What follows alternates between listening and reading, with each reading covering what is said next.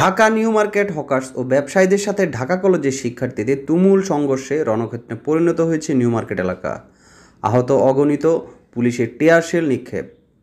গতকাল সোমবার আঠারো এপ্রিল দিবাগত রাত বারোটার দিকে এই সংঘর্ষ শুরু হয়। শিক্ষার্থীদের সঙ্গে ব্যবসায়ীদের এই সংঘর্ষ ছড়িয়ে পড়ে পুরো এলাকায়। ধানমন্ডি হকার্স মার্কেট ও ঢাকা কলেজের সামনে অবস্থান নেন শিক্ষার্থীরা। অন্যদিকে চন্দ্রিমা সুপার মার্কেটের সামনে জড়ো হন ব্যবসায়ীরা।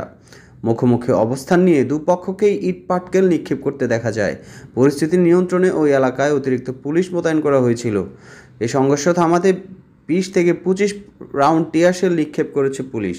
শিক্ষার্থীরা জানিয়েছে, ঢাকা কলেজের মাস্টার্সের দুই শিক্ষার্থী রাত বারোটার দিকে নিউ মার্কেটে কেনাকাটা করতে চায় কেনাকাটা নিয়ে ব্যবসায়ীদের সঙ্গে তাদের কথা কাটাকাটি হয়। এক পর্যায়ে দুই শিক্ষার্থীকে ছুরিকাঘাত করা হয়েছে।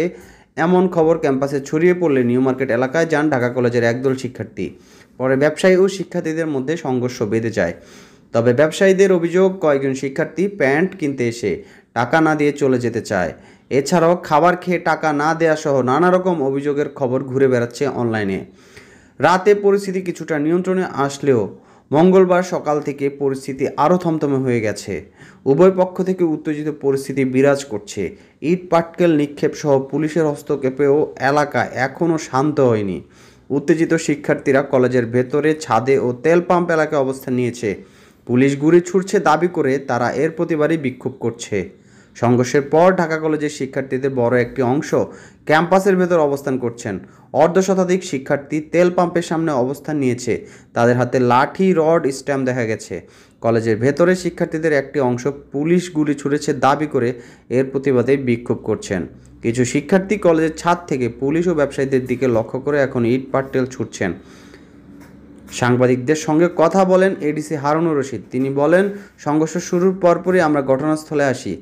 দেখতে পাই শিক্ষার্থী ও ব্যবসায়ীদের মুখোমুখি অবস্থানে। দুপক্ষই ইটপাটকেল ছুঁড়েছে।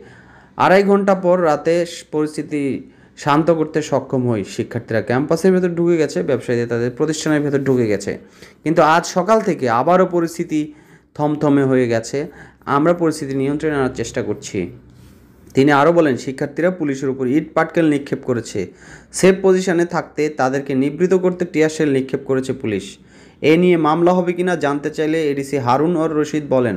ঊর্ধ্বতন কর্মকর্তাদের সঙ্গে আলোচনা করে ঘটনার সূত্রপাত বিশ্লেষণের পর মামলার বিশেষ সিদ্ধান্ত নেওয়া হবে।